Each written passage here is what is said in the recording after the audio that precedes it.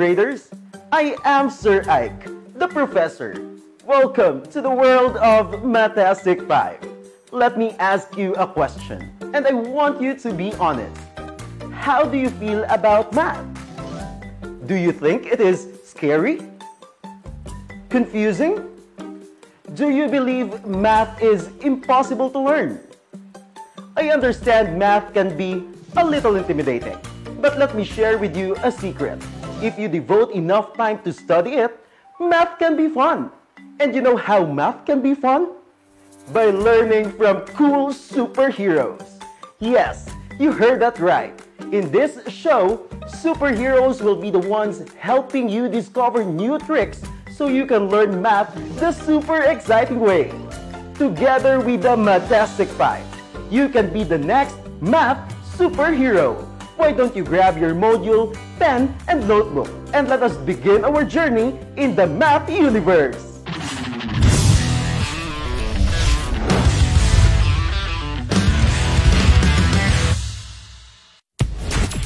Before I turn you over to one of the Mathtastic 5 superheroes, let's review some math fundamentals.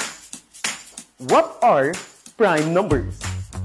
Prime numbers are whole numbers greater than 1 that only have two factors, 1 and the number itself. How about composite numbers? Composite numbers can be defined as whole numbers that have more than two factors. What is a multiple? A multiple is a number that can be divided by another number for a number of times without a remainder. And lastly, what is divisibility? Divisibility refers to a number's quality of being divided by another number without a remainder. To further refresh on some mathematics basics, it is time for you to come face to face with the Super Driller.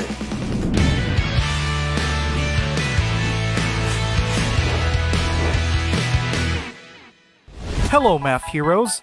I am Super Driller, your review hero. You need to pass my level by answering all my questions before proceeding to the next. Are you ready? Let's go! For today's drill, you need to give the first three multiples of the given numbers. Let's begin the super drill task. Give the first three multiples of the given numbers below. Write your answer in your paper. You have 5 seconds to answer each number. Give the first three multiples of 2. The first three multiples of 2 are 2, 4, and 6. Give the first three multiples of 3. The first three multiples of 3 are 3, 6, and 9. Give the first three multiples of 5. The first three multiples of 5 are 5, 10, and 15. Give the first three multiples of 6. The first three multiples of 6 are 6, 12, and 18. Give the first three multiples of 10. The first three multiples of 10 are 10, 20, and 30. You did great, math heroes! Congratulations! Let's proceed to our next super drill task. Identify whether a number is a prime number or a composite number. You have 5 seconds to write your answers on your paper. Let's begin with number 1. 2. Is 2 a prime number or a composite number? The answer is prime number. Number 2. 3. Is 3 a prime number or a composite number? The answer is prime number. Number 3. 5. Is 5 a prime number or a composite number? The answer is prime number. Number 4. 6. Is 6 a prime number or a composite number? The answer is composite number. Number 5. 10. Is 10 a prime number or a composite number? The answer is composite number. Wow, impressive math heroes. You did amazing. I will make it a little bit harder next time. Up, up, and away! I'm proud of you, math heroes. You did great on your first test. As a reward, I will now introduce you to another Mathtastic 5 hero. The Super Driller helped you learn by reviewing lessons with you. This superhero you are about to meet will teach you important math concepts through adventure-filled stories. Here comes our very special storyteller. It's not a bird, it's not a plane, it's Super Math.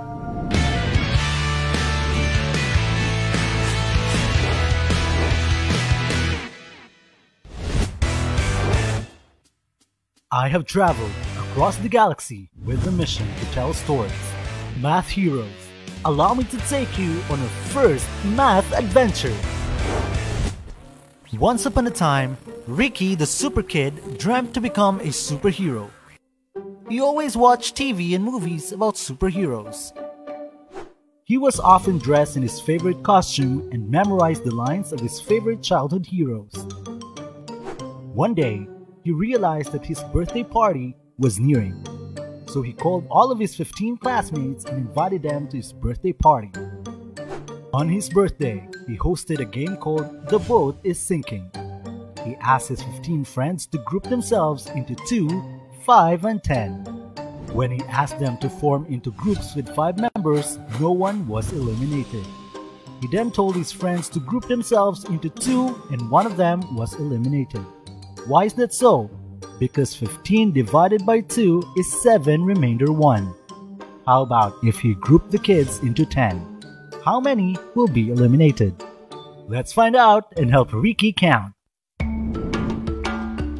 There you go, math heroes! That was our first math adventure featuring Super Math. Do you also play The Boat is Sinking? I'm sure you do. Don't worry, math heroes. Once everything goes back to normal, you can do what the boy did in the Super Math story. Throw a fun party and play with your friends. I'm sure it's gonna be fun. When playing The Boat is Sinking, what operation do we use in grouping the players? Division. In our story, what are the three numbers we used in grouping the 15 kids? 2, 5, and 10. Now, based on the story, what do you think is our lesson for today? You got it. Divisibility rules for 2, 5, and 10. And using these divisibility rules to find the common factors of the numbers. Math heroes, you are in for a brand new and super fun discussion. Today, we will learn about the divisibility rules for 2, 5, and 10 to find the common factors of the numbers. What are the techniques? What are the rules? Going back to our math adventure earlier, let's discuss the given facts. When 15 kids were asked to group themselves into 5, no one was eliminated. Why? Because 15 is divisible by 5. But when they were asked to group themselves into 2, 1 was eliminated. This is because 15 is not divisible by 2. When we divide 15 by 2, the answer is 7, remainder 1. But how many kids will be eliminated if the 15 kids are asked to group themselves into 10? The answer is 5. Is 5 also your answer? Great! Because 15 is not divisible by 10. And if we divide 15 by 10, the answer is 1, remainder 5. So 5 kids will be eliminated from the game. Now, math heroes, let's talk about the rules and concepts of the divisibility rules for 2, 5, and 10. Divisibility rules tell whether a number is exactly divisible by other numbers. This rule is a shortcut way to decide whether a number is exactly divisible by another number without doing division computation. Let's begin with the divisibility rule for 2. A number can be divided by 2 if the number ends with 0, 2, 4, 6, or 8. For example, 170. Is 170 divisible by 2? Yes, because the digit in the ones place is 0. Therefore, 170 is divisible by 2. Math heroes, let's check if you are listening well. Let's have other drills with Super Driller. It's me, the Super Driller.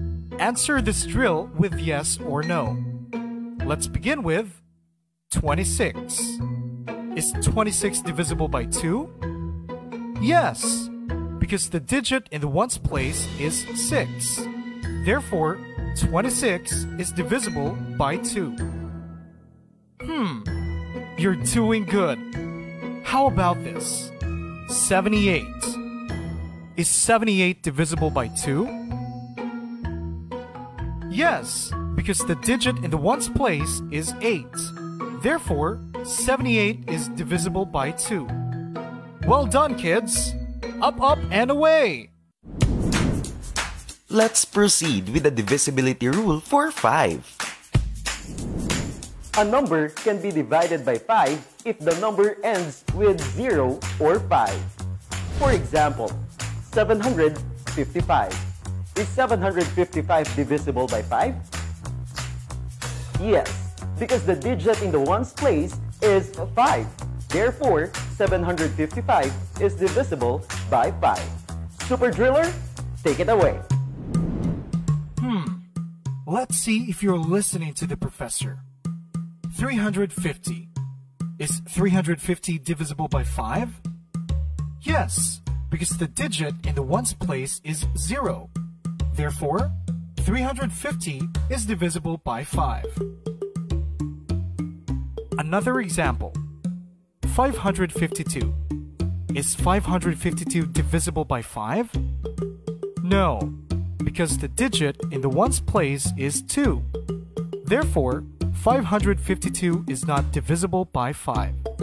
Haha! I thought I could trick you with that. Up, up, and away! And for our final rule, the divisibility rule for 10. A number can be divided by 10 if the digit in the ones place is 0. For example, 980. Is 980 divisible by 10? Yes, because the digit in the ones place of 980 is 0. Therefore, it is divisible by 10. Math heroes, it's drill time. Alright, let's see if you can pass this one. Math heroes, how about 210? Is 210 divisible by 10? Yes, because the digit in the ones place of 210 is 0. Therefore, it is divisible by 10. Hmm, how about this one? 155. Is 155 divisible by 10? No, because the digit in the ones place of 155 is 5. Therefore, it is not divisible by 10. Well, well, you are really good, math heroes. I will see you next time. Up, up, and away! There you have it, math heroes. You have just gained your first superpower in Mathtastic 5, mastering the divisibility rules for 2, 5, and 10. Now it's time to use the divisibility rules for 2, 5, and 10 to find the common factors of the numbers. But before we proceed, what is a common factor? Hmm. A common factor is a factor that is the same for two or more numbers. Let's use our examples a while ago. Study the table. Say yes if the number is divisible by 2, 5, or 10, and say no if otherwise. Is 170 divisible by 2? Yes. Is it divisible by 5? Yes. And is it divisible by 10? Also, a big yes. So 170 is divisible by 2, 5, and 10. Therefore, 2, 5, and 10 are some of the factors of 170. How about 755? Is 755 divisible by 2? Hmm, I'm afraid it's a no. How about 5? Is it divisible by 5? Yes. And how about 10? Is 755 divisible by 10? A big no. Therefore, out of the three numbers, only 5 is the factor of 755. Now let's go with 980. Is 980 divisible by 2? Yes. Is it divisible by 5? Yes. And is it divisible by 10? Also a big yes.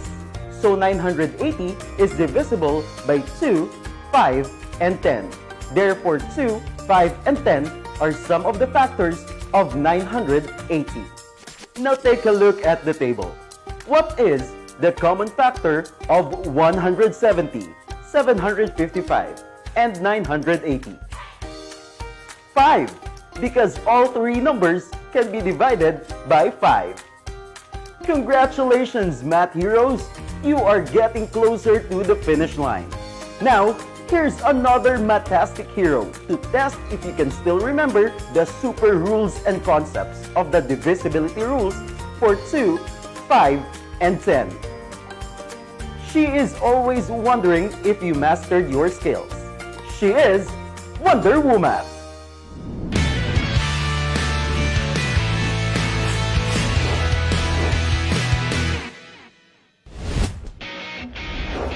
Hello, math heroes! I heard you're all doing well. I wonder if you have mastered the skills. Can you still remember the divisibility rules for 2, 5, and 10? How about the common factor? Hmm, let's see. How will you know if a number is divisible by 2? A number can be divided by 2 if the number ends with 0, 2, 4, 6, or 8. How about 5? A number can be divided by 5 if the digit in the ones place is either 0 or 5. And for 10, a number can be divided by 10 if the digit in the ones place of a number is 0. Now, what is a common factor? A common factor is a factor that is the same for two or more numbers. Great job! All my wonders have been answered. See you again, and remember, never lose your sense of wonder. Up, up, and away! Math heroes, you are now in your final quest. Your next Mathtastic hero will make your brain storming to work for more. She is lightning fast and always ready for every math task. I give you Brainstorm!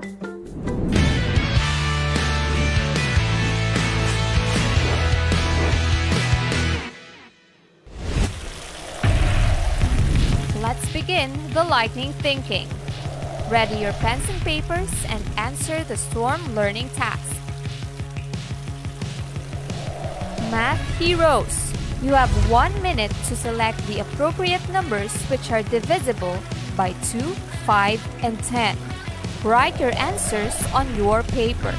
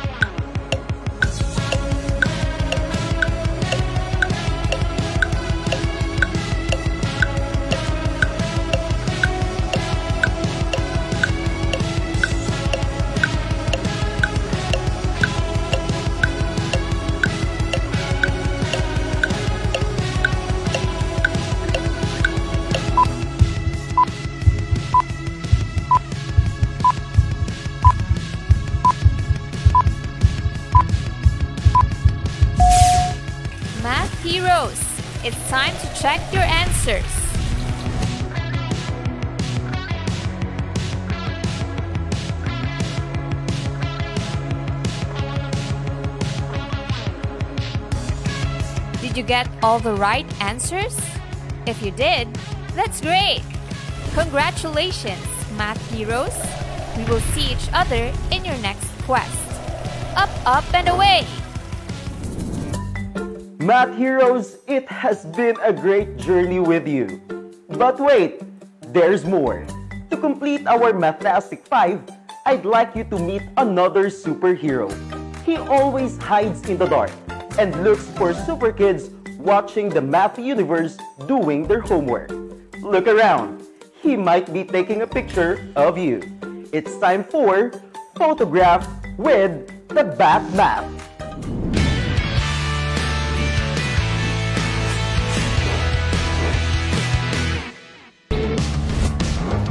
After searching every corner of the universe, I present you the Math Hero of the Day. From Dos Hermanas Elementary School, Talisay District 1 Division of Negros Occidental. Aliana Feliz Mosqueda. Show us your true power by sending your picture while watching our Mathtastic 5 episodes in our Facebook page. Just search Mathtastic 5 or post your photos with a hashtag Mathtastic Hero and be featured in our next Mathtastic 5 episodes. Watch out for updates on the social media pages of DepEd TV channel. I am Batmath and I will find you. Keep watching our episodes, and you will someday become a Math 5 superhero just like us. Again, I am Sir Ike, the Professor. Mathtastic 5, assemble!